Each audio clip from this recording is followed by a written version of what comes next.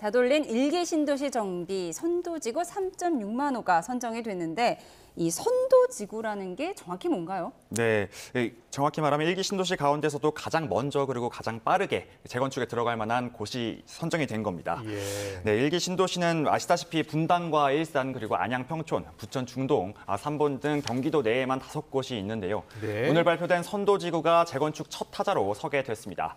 아, 치열한 경쟁을 거쳐서 모두 13개 구역 3만 6천 호가 선도지구로 선정이 됐는데요. 구체적으로는 분당의 양지마을 금호와 시범단지 우성 등 3개 구역, 아, 그리고 일산에서는 백송마을 1단지와 후곡마을 3단지 등 3개 구역이 각각 선정이 됐고요. 평촌과 중동, 삼본에서도 각각 2개에서 3개 지역이 선도지구로 지정이 됐습니다. 앞서 각 후보 지역에서는 선정 점수에 포함되는 주민 동의율을 높이기 위해서 치열하게 노력을 해왔는데요.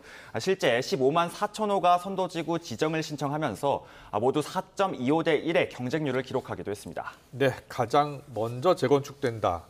그 말고 다른 이점은 뭐가 있습니까? 네, 재건축 사업이 사실 번번이 엎어지거나 지연되는 경우가 그렇죠. 다반사이잖아요.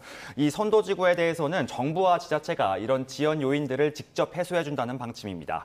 아, 먼저 단지 내 학교 이전과 신설 등을 두고 정비 사업이 지연되는 경우가 많은데요. 아, 국토부와 교육부 등이 업무 협약을 통해서 관련 협력을 확대하기로 했고요. 아, 또 탈만은 재건축 분담금 산정, 이건 아, 정무, 정- 전문기관인 부동산원이 직접 담당하기로 했습니다.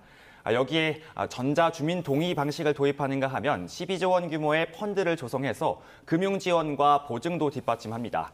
아, 정부는 이런 지원책을 통해서 오는 2027년 착공 그리고 2030년에 입주까지 선도지구 정비를, 정, 정비를 마무리한다는 계획입니다. 네, 선도지구 3만 6천 호 선정 소식까지 들어봤습니다. 지금까지 경제부 박기환 기자와 함께했습니다. 잘 들었습니다. 고맙습니다.